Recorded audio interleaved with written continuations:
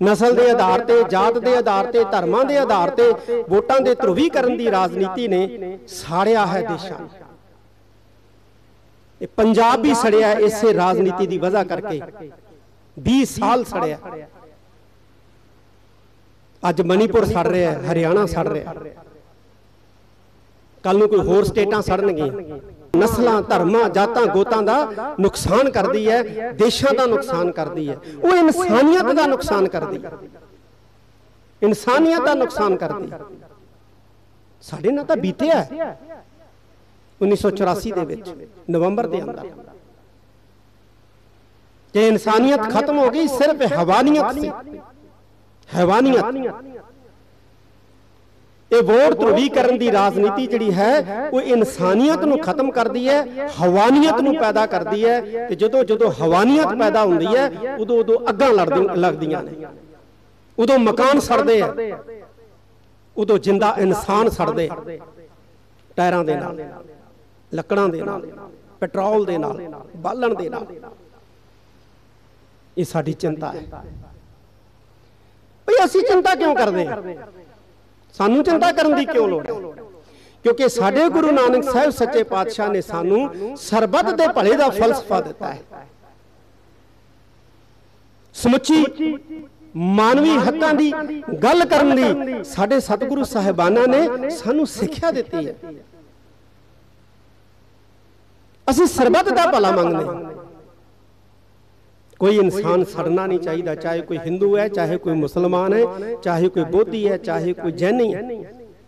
ਕਿਸੇ ਔਰਤ ਦੀ ਪਤ ਨਿਲਾਮ ਨਹੀਂ ਹੋਣੀ ਚਾਹੀਦੀ, ਚਾਹੇ ਉਹ ਹਿੰਦੂ ਹੈ, ਚਾਹੇ ਉਹ ਬੋਧੀ ਔਰਤ ਹੈ, ਚਾਹੇ ਉਹ ਸਿੱਖ ਹੈ ਤੇ ਚਾਹੇ ਈਸਾਈ ਹੈ ਤੇ ਚਾਹੇ ਮੁਸਲਮਾਨ ਹੈ। ਅਸੀਂ ਇਹ ਚਾਹੁੰਦੇ ਹਾਂ, ਸਾਡਾ ਫਲਸਫਾ ਇਹ ਸਾਨੂੰ ਕਹਿੰਦਾ ਹੈ, ਸਾਨੂੰ ਸਿੱਖਿਆ ਦਿੰਦਾ ਹੈ। ਮੈਂ ਬਹੁਤਾ ਲੰਬਾ ਸਮਾਂ ਨਹੀਂ ਲੈਣਾ ਆਪ ਜੀ ਦਾ, ਮੈਂ ਇੰਨਾ ਹੀ ਕਹਾਂਗਾ ਕਿ ਅਸੀਂ ਜਜ਼ਬਾਤੀ ਬਹੁਤ ਜ਼ਿਆਦਾ ਹੈ। ਜਜ਼ਬਾਤੀ ਹੋਣਾ ਇੱਕ ਗੁਣ ਵੀ ਹੈ। ਜਜ਼ਬਾਤੀ ਹੋਣਾ ਭਾਵਕ ਹੋਣਾ, ਜਜ਼ਬਾਤੀ ਹੋਣਾ ਇੱਕ ਗੁਣ ਵੀ ਹੈ, ਪਰ ਕਿਤੇ ਕਿਤੇ ਲੋੜੋਂ ਵੱਧ ਜਜ਼ਬਾਤੀ ਹੋ ਜਾਣਾ ਜਿਹੜਾ ਹੈ, ਉਹ ਸਾਡਾ ਨੁਕਸਾਨ ਵੀ ਕਰ ਜਾਂਦਾ ਹੈ।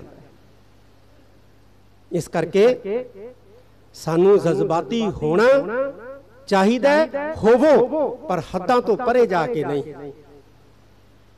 ਸੀਮਾਵਾਂ ਤੋਂ ਪਰੇ ਜਾ ਕੇ ਜਜ਼ਬਾਤੀ ਨਾ ਹੋਵੋ ਉੱਥੇ ਬੁੱਧੀ ਦਾ ਇਸਤੇਮਾਲ ਜ਼ਰੂਰ ਕਰੋ।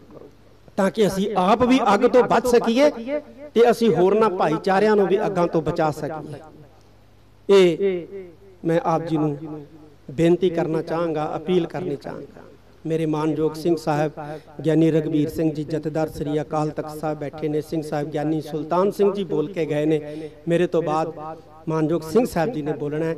ਮੈਂ ਅੰਤ ਦੇ ਵਿੱਚ ਫੇਰ ਬਾਬਾ ਹਰਨਾਮ ਸਿੰਘ ਜੀ ਜੋ ਦਮਦਮੀ ਟਕਸਾਲ ਦੇ ਇਸ ਵਕਤ ਮੁਖੀ ਨੇ, ਉਹਨਾਂ ਨੂੰ ਵਧਾਈ ਦੇਣਾ ਹੈ। ਇਸ ਗੱਲ ਦੀ ਕਿ ਉਹ ਪੰਥ ਦੀ ਇਸ ਨਾਮਾਵਰ ਜਥੇਬੰਦੀ ਦਾ ਸਥਾਪਨਾ ਦਿਵਸ ਜਿਹੜਾ ਹੈ, ਇਸ ਧਰਤੀ ਦੇ ਉੱਤੇ ਆ ਕੇ ਮਨਾਉਂਦੇ। ਸ਼੍ਰੀ ਗੁਰੂ ਗ੍ਰੰਥ ਸਾਹਿਬ ਸੱਚੇ ਪਾਤਸ਼ਾਹ ਦੀ ਬਾਣੀ ਦਾ ਸਟੀਕ ਵੀ ਇਹਨਾਂ ਨੇ ਲਿਖਾਇਆ। ਵਿਆਖਿਆਕਾਰੀ ਇਹ ਧਰਮਾਂ ਦੇ ਵਿੱਚ ਹੁੰਦੀ ਹੈ। ਵਿਆਖਿਆਕਾਰੀ ਧਰਮ ਗ੍ਰੰਥ ਦੀ ਸੋਝੀ ਦਿੰਦੀ ਹੈ, ਸਮਝ ਦਿੰਦੀ ਹੈ, ਜਾਣਕਾਰੀ ਦਿੰਦੀ ਹੈ।